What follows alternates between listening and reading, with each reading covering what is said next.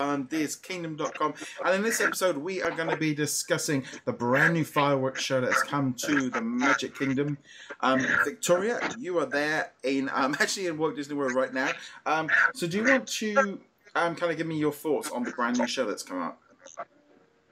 Well, personally, I really liked it. It was a great update compared to Wishes. I love the projections, the combination of new and classic Disney films too, and it seemed like everyone I was surrounded by loved it too.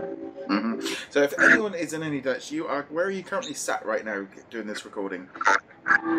I am currently in French Quarter. yeah, yeah. So if anyone can hear the music going by, or we get some trolley carts, or something goes by, you know why. But um, I saw the video online of the new show, and it kind of reminded me of the presentation from Disneyland Paris with the way the projections were using, and just in general. Um, it's you know it's been going for a number of like was it 15 years? So upgrading it I think is a great thing. But as a whole it just looks like it's a, a great new show. Was it, what was the kind of favorite things that you liked from it? Well I personally like the Moana sequence and the villain sequence. It was very well done. I love the projections that they used for it, along with the fireworks.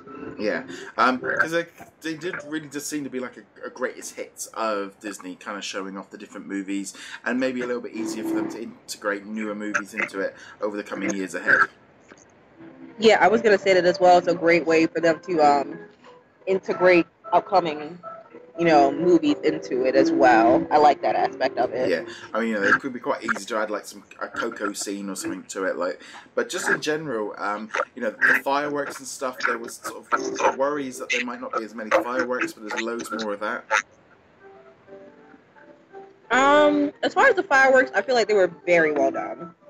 Yeah. I would love to know the budget that they used for the fireworks because I know for a fact that Wishes was about a good few thousand a mm. night. Yeah. So we'll know the budget for that.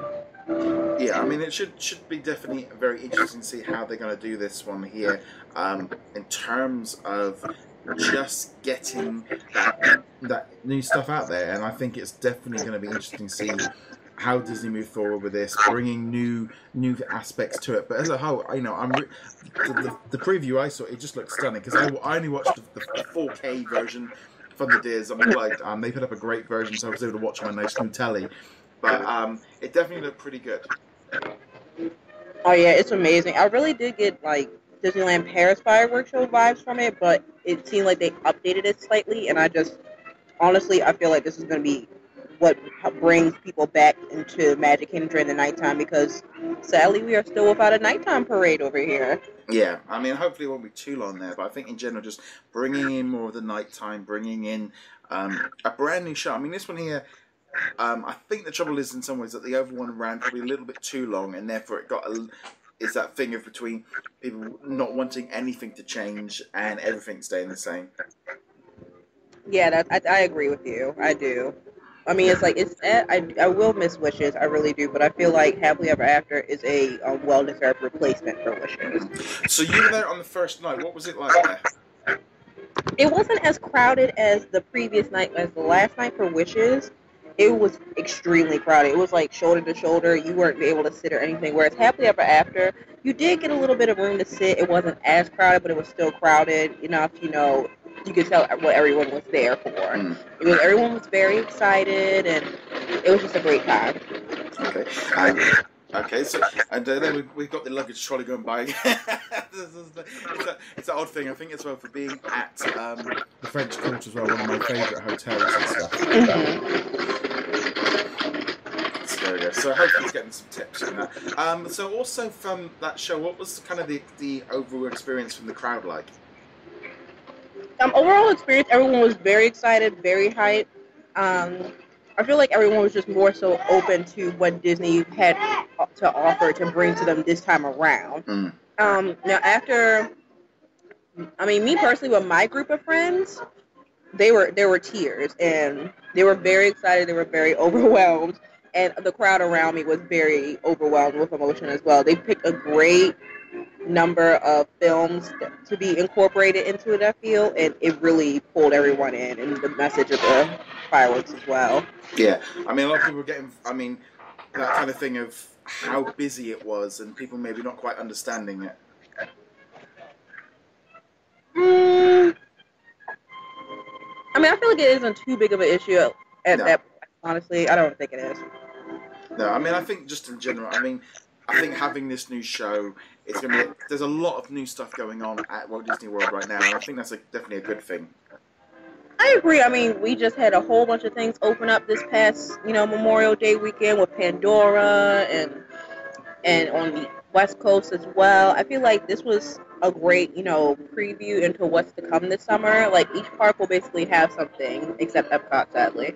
Yeah, But Epcot gets no love. But no, that's, that's, yeah, I feel like Happily Ever After is, is gonna be around for a very long time. no.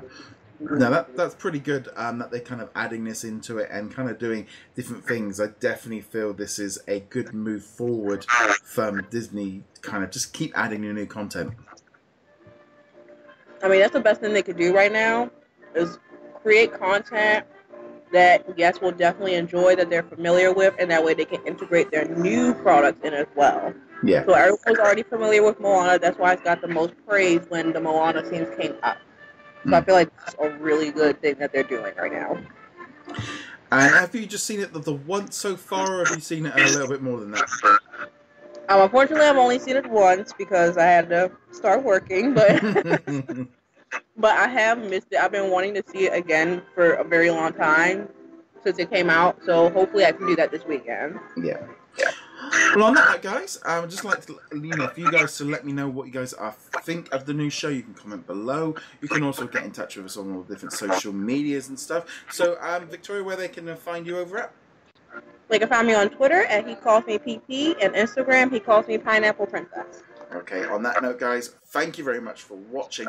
Be sure to hit that subscribe button. There's been a, I've done a little bit of a change this week to um, how we're setting up like the, the video versions on YouTube. So there's a, like a brand new channel for all the parks and product there. So we can put everything over there, and that's where the Disney Kingdom podcast is going to be. So definitely want to check that one out. We also have our gaming channel as well, and you can find us on the different. Um, Audio platforms as per usual. On that note, guys, thank you very much for watching, and we'll see you guys soon. Later. Bye.